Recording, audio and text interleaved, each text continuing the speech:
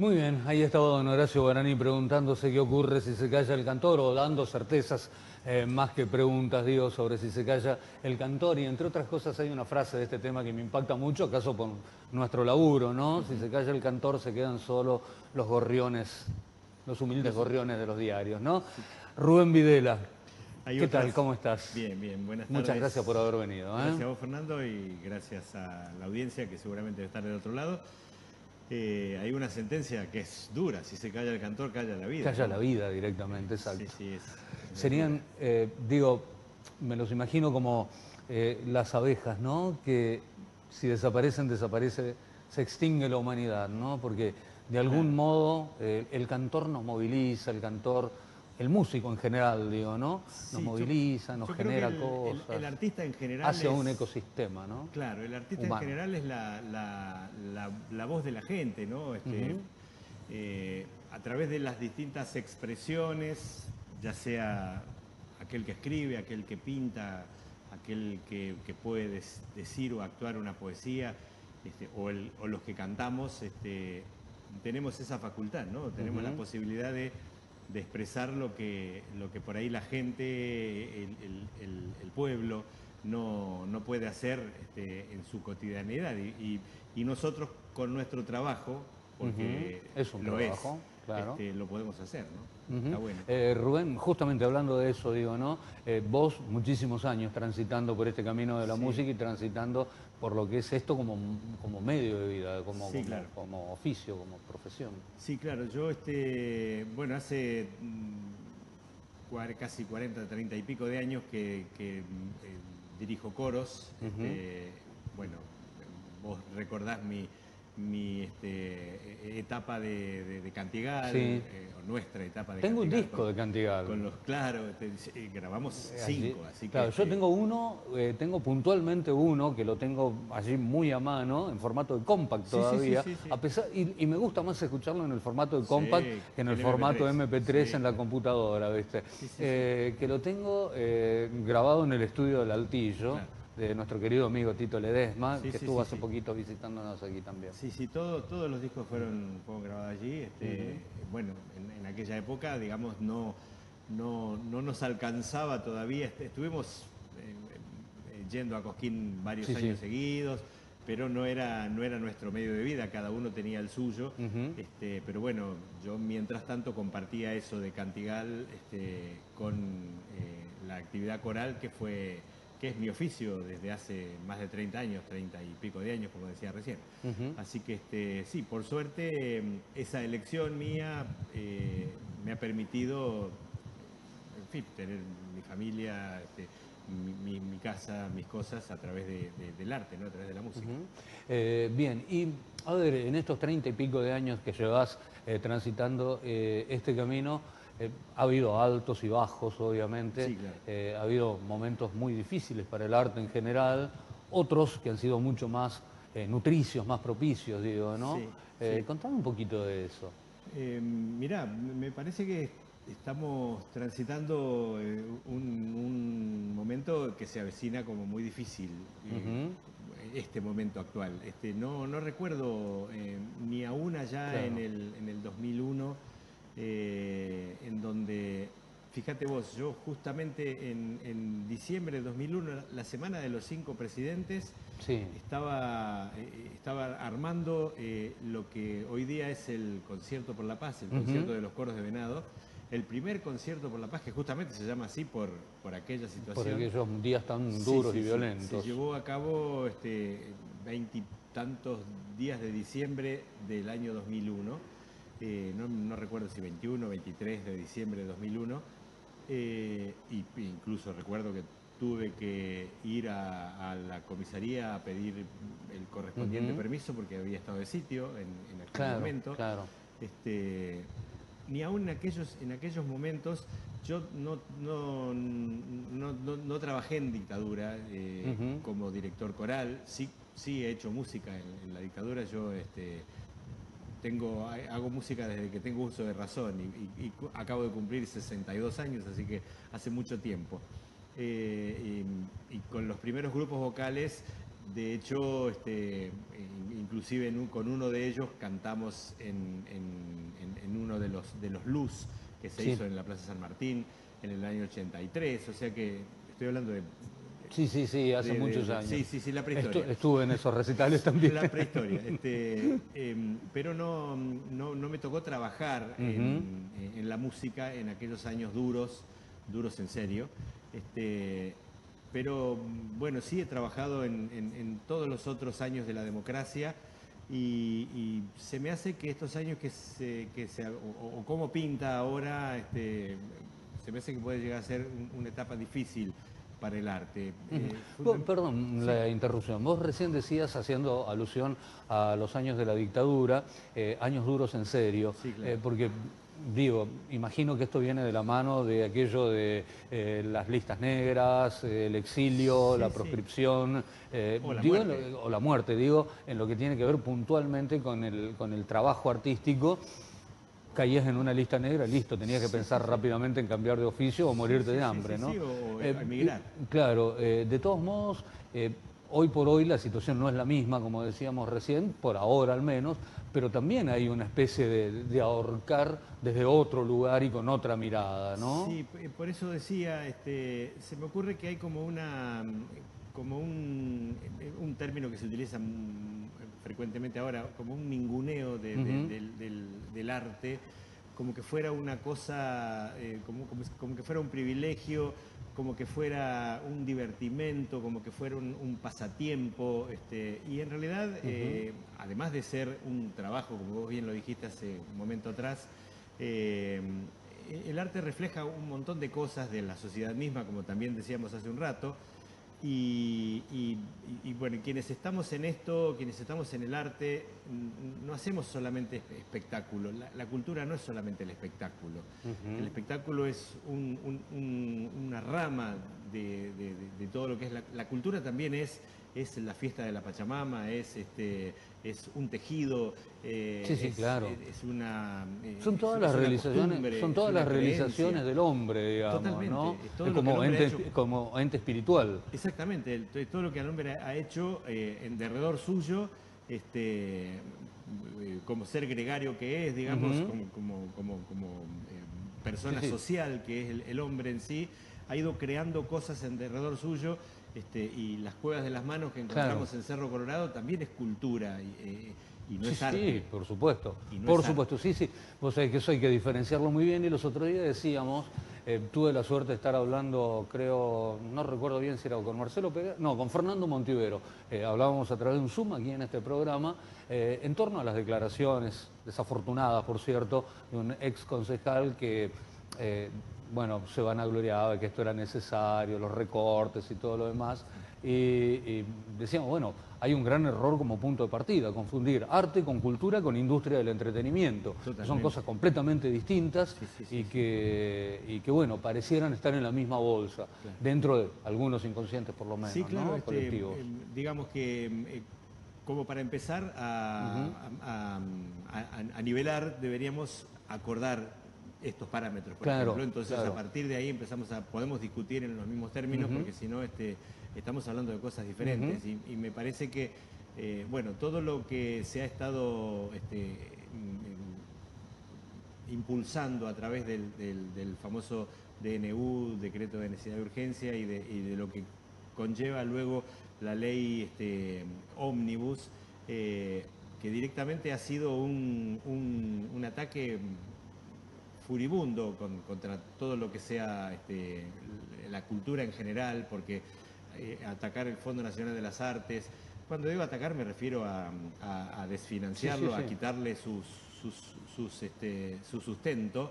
Eh, el, Instituto Nacional del Teatro, el de la Música, el del Cine, este, la Comisión Nacional de Bibliotecas Populares, este, en fin, quitarle el, oxígeno eh, a, esos, a todos esos institutos que son entes autárquicos, eh, cabe aclararlo y cabe eh, eh, explicarlo muy claramente, porque hace unos días atrás, en diciembre, hicimos una jornada en la Plaza San Martín, este, artistas varios de Venado Tuerto, y por ahí en los comentarios de los haters en las redes sociales, este, ah, se les terminó el currito, se les terminó... Este, la, es típica. La, teta del Estado, entonces este, vayan a trabajar, agarren la pala, esa, la conocemos de, memoria.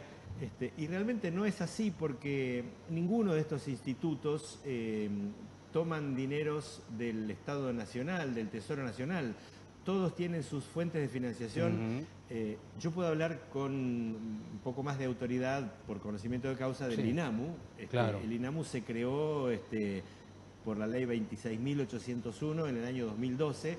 Y se financia a través del ENACOM. Exactamente, del el, Ente Nacional de, Comunicación. Exactamente, de la Ley de Servicio de Comunicación eh, Audiovisual. Eh, se hizo además luego de innumerable cantidad de asambleas y de audiencias públicas en todo el país. E, en cada una de las provincias se iba haciendo una audiencia pública en donde se explicaban los alcances de la ley, se fueron modificando artículos hasta que entró al Congreso y se eh, promulgó la ley 26.801 y a partir de esa ley se crea el Instituto Nacional de la Música, que como vos bien decías, obtiene el 2% del ENACOM. Esa es la fuente de financiamiento. Y con ese 2% que es eh, un dinero importante, eh, se fomenta la cultura, porque no es que eso... Eh, el, INAMU tiene 30 empleados. Es toda la estructura burocrática que tiene el INAMU en todo el país, Instituto Nacional de la Música. Pero cuando no se dice, y se dice de otra manera, el INAMU como una cosa así, eh, da, la sensación de ser una ah, infraestructura, claro, todos, todos amigos de algún político que están instalados en todo el territorio nacional y que viven como reyes, digamos. El presidente del INAMU es elegido de una manera muy federal, este, las, este, los apoyos, los subsidios que, ofrece el INAMU se otorgan eh, en... Hay seis delegaciones, que son las seis regiones de nuestro país, NEA, NOA, Cuyo, Centro, Patagonia, este, que eh, se distribuyen de manera equitativa, no por, ni por cantidad de habitantes ni por cantidad de territorio, de manera totalmente equitativa. Eh, eh, en esas asambleas son absolutamente federales. Yo integro con, una organización que, a la que pertenezco, integro lo que se denomina el Consejo Coral Nacional, que somos seis personas, tres personas de la eh, OFADAC, que es la organización que yo integro, Organización Federal Argentina de Actividades Corales, y tres personas de la Asociación de Directores de Coros de la República Argentina, más el presidente del INAMU. Esas siete personas somos el jurado de selección de todos los proyectos que se presentan, que presentan los coros a lo largo y a lo ancho de todo el país para recibir un subsidio. Este año, perdón, el año pasado, 2023, se entregaron, yo no recuerdo si 70 eh, o 90 subsidios, eh, subsidios importantes para grabaciones, para cambio de instrumentos, para eh, giras, para cambio de uniformes, para viajes proyecto que presenta un coro, lo fundamenta y luego lo rinde, que eso es muy importante. O sea, no es que yo te doy a vos Porque sí, a la buena, pesos y eso. Claro, a la buena de Dios. en qué lo gastaste, si efectivamente se, se rinde de acuerdo al proyecto que presentaste grabación de un disco, bueno, las boletas del estudio de grabación, este, las boletas de la replicadora de discos, etcétera, etcétera. Entonces, a partir de eso se rinde el subsidio. Que es una buena forma del control también impositivo de cada una de las otras actividades adjuntas. Porque, la, Auditoría General de la Nación sí puede intervenir en estos entes autárquicos. Eh, por más que no sean entes gubernamentales, sino que son entes autárquicos, reitero, la Auditoría General de la Nación sí puede intervenir para controlar el, funcionamiento de estos, estos entes. Eh, yo, me bancaría que, eh, que, alguien dijera, un presidente o, cualquier este, legislador dijera, vamos a revisar el funcionamiento de estos entes. ¿Correcto? ¿Correcto? Revisemos. Revisemos. Veamos. Claro, porque revisar a mí me da la idea de que aquello que está bien no se toca, continúa y aquello que está mal se mejora. Totalmente. A mí me da, cuando yo escucho la palabra control me encanta porque digo, bueno, listo, vamos a auditar tal cosa. Bueno, si uno no tiene el culo sucio, no exactamente, tiene por qué exactamente. A mí me vienen y me dicen, qué sé yo, se va a sentar el jefe, Sergio, ahí te va a escuchar todo el programa. Bienvenido. Bienvenido, bienvenido, vení, charlemos juntos incluso, porque de ahí es donde salen, salen mejores ideas, quiero decir incluso, ¿no? Siempre todo es perfectible por otra parte. Absolutamente. Exactamente. Y por otra parte, este, por ahí puede llegar eh, a, ocurrir que se le quiera dar un perfil diferente, lo cual también es aceptable. Sí, por supuesto. Absolutamente aceptable. Pero de hecho, el hecho de decir, no, esto no funciona más, este, porque sí, porque sí. E, e, incluso por necesidad de urgencia. Este, porque si, si dijéramos que, el, eh, em, que deje de funcionar el INAMU, que deje de funcionar el Instituto Nacional del Teatro, el Fondo Nacional de las Artes, todas las instituciones que dijimos, la CONAVIP, eh, con esos, esos fondos permitieran que, por poner un ejemplo, los jubilados, mi papá y mi mamá, jubilados, van a cobrar un dinero mejor. Pero no, porque no, no, no, porque no viene de ahí, no viene de ANSES. No va ahí. Claro, por ejemplo, para decir algo, ¿no? Exactamente. Eh, ni, ni, del Ministerio de Salud para decir va a impactar en el sistema de salud, que recién hablábamos con la doctora María Beck, se va a ver afectado por todo este cambio de paradigma, ¿no? Eh, bueno, eh, sin embargo hay en este momento gente que también está diciendo, bueno, pero dieron marcha atrás con eso, en definitiva no le van a quitar los fondos al INAM, todo lo demás. Y yo pensaba en esto, en que, mm, por ejemplo, sí, es cierto, habría un, intento allí, o por lo menos habría una puerta de, negociación. Eh, y, ¿De qué se quejan ahora? Eh, pero al mismo tiempo hay una facultad que se le da al, ah, Ejecutivo. el legislativo le da al Ejecutivo la posibilidad de incursionar en el territorio de la legislación. Con lo cual no estamos modificando nada en realidad, porque digo, a ver, no lo hago por decreto de necesidad y urgencia, pero lo puedo sacar como ley, si la firmo yo mismo, se me arroga ese poder durante un año con la posibilidad de que sean dos. Exacto. Sí, sí, sí, eh, realmente. O sea, en, este caso eh, lo procedimental es muy importante. O sea, yo creo que este, todo, toda, cualquier tipo de modificación, como decíamos recién, eh, hubiera sido bien recibida por, por, toda la comunidad si se sometía a, eh, los, eh, a los mecanismos de la democracia, digamos. ¿sí? Bueno, pero a ver, el argumento en ese caso es, y lo he leído también hasta el cansancio, los mecanismos democráticos ya funcionaron en el momento de la elección. No, no, pero eh, cuando alguien elige a un presidente no elige un monarca, está eligiendo un presidente que va a... Hay una ley suprema que es la Constitución Nacional que establece división de poderes, entre otras cosas, y, este, y, bueno, y, ese, ese presidente este, debe eh, adecuarse a esas, a esas reglas. Si no, tenemos que, retroceder a a épocas pretéritas. Sí, exactamente. no, no, me parece que no, no se trata de eso. Entonces, no, pero hay, una, hay una mirada, hay, una mirada como de rayo que descendió, ¿eh? tal cual, iluminó a alguien y dijo, sos el iluminado, ve y salva tal cual, a tal cual, este, este lo cual, este, rebaño de ovejas descarriadas. Lo cual también es un poco preocupante, digamos. O sea, a mí me, hace, me hace pensar Ahí quería llegar. algunas cosas también, digamos, ¿no? Eh, eh, ¿quién, puede llegar a, a creerse un, enviado del más allá también este, quizás a lo mejor deba, deba transitar otros caminos. claro, históricamente ningún movimiento mesiánico ha sido beneficioso eh, para ninguna sociedad a lo largo de la historia de la humanidad. Entonces vuelvo al tema que estaba desarrollando.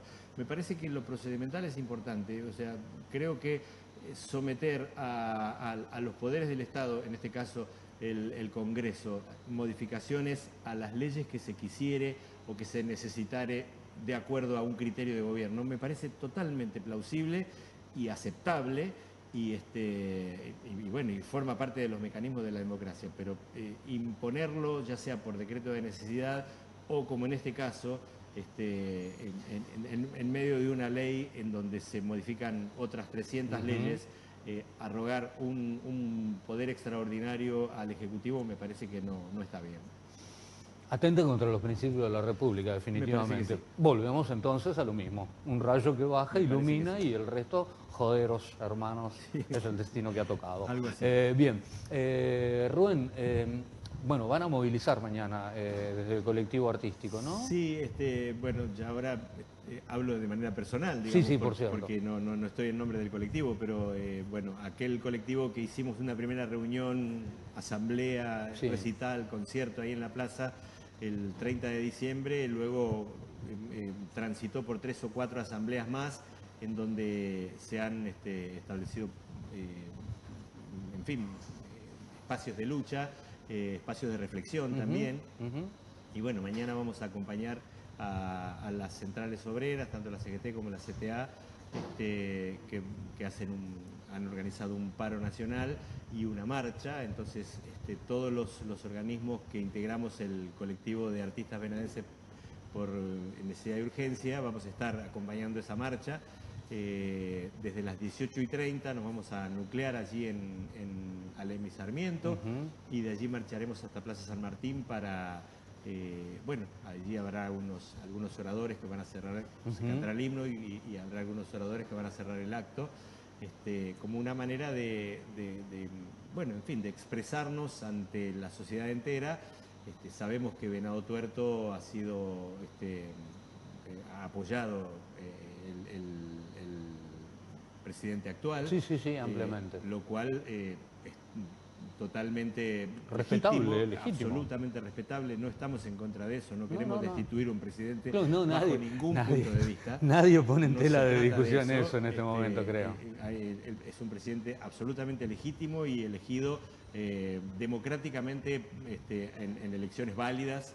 Este, por la ciudadanía de, tan legítimo tan legítimo como legítimo es el derecho de cualquier ciudadano de manifestarse si no está de acuerdo con eso y, pretérito, porque el, derecho a, protesta, el derecho a huelga está consagrado en nuestra Constitución. Así que este... Lo que pasa es que hay miradas de constituciones distintas. Hay mucha gente que te discute con la Constitución del 53 en la mano, 1853 en la mano, y otra que te discute con la del 94, que es la que está vigente, y la que adhiere a los pactos eh, como por ejemplo, qué sé yo, no voy a, expresarme sobre esto, pero sobre eh, en materia de derechos humanos.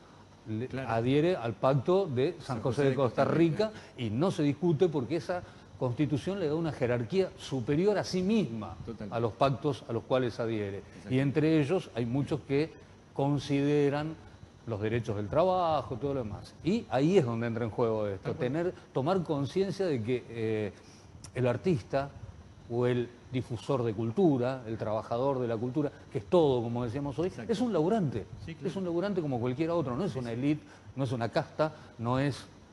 Es un laburante como lo es un docente, que de hecho muchos son docentes, eh, digo, como es yo, el, trabajador de la construcción, nosotros mismos en este mismo momento aquí. Exacto. Sí, sí, por eso este, me, parece muy, muy, muy importante. Eh, eh, o sea, yo creo que si hay algo positivo que puede llegar a surgir de todo este, este mare magnum que, está, que se está produciendo en este momento, es eh, poder conversar y poder discutir y poder debatir sobre estas cuestiones. Eh, sabemos que no, no, todos pueden hacerlo de manera este, eh, respetuosa, civilizada, si cabe el término. y me parece que es muy interesante que podamos debatir con argumentos, por supuesto. Claro, no lógicamente.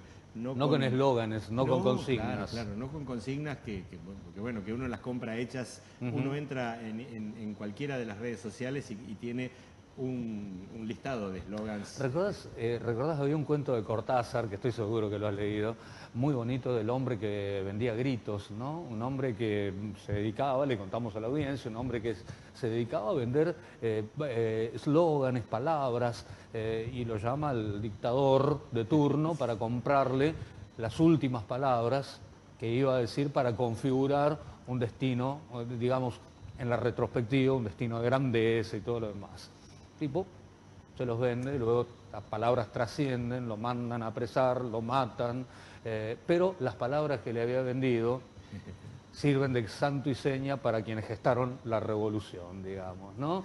Cortázar en su magistralidad planteaba esto que nos pone de frente a dos cosas, al peso de la palabra, por un lugar, o de las palabras, la entidad de las palabras que uno emite, y por otra parte eh, también a, lo vacío o, o al contrasentido que pueden llegar a tener en algún momento, justamente por ese peso propio que tienen las palabras, las mismas, digo, ¿no? Eh, cuando vos decís el peso de las palabras... Los eslóganes. Sí, sí, sí. Cuando vos decís el peso de las palabras, puedes decir el peso de la música, el peso de la imagen. Claro, eh, porque es lenguaje. porque es el, lenguaje expresivo que, que utiliza el artista. Así que me, parece fantástico ese recuerdo que te Sí, eh, así que bueno, eh, Rubén, nada, eh, en primer lugar, bueno, saludar a través tuyo a, todos las, a todos los y las músicas de Venado Tuerto, que son muchos, y, nada, quedar a disposición, por cierto, porque este, este colectivo de artistas venadenses, noto que lo ha tomado muy en serio y que está llevando adelante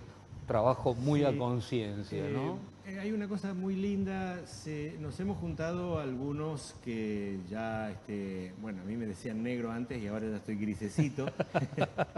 Este, algunos que, como, dice el tango, peinamos canas, eh, muchas, y otros jóvenes. Que nos mantenemos con el cabello oscuro, ¿sí, No, no, otros más jóvenes que, que vos inclusive, que que tienen su primera, su primer, están asomándose a la militancia, eh, lo que es hermoso, digamos, porque yo no tuve eh, un, eh, un, anterior a mí que me pudo transmitir la experiencia de la militancia, porque la generación anterior a la mía es desaparecida. Claro este, o, tuvo que callarse o tuvo que irse para no morir. Entonces yo no tuve ese privilegio de, por ahí aprender aquellas cosas. Física, intelectual o espiritualmente es una generación desaparecida. Sí, totalmente. Absolutamente. Totalmente. Entonces este, es hermoso que por ahí las generaciones actuales le puedan o le podamos transmitir a los más jóvenes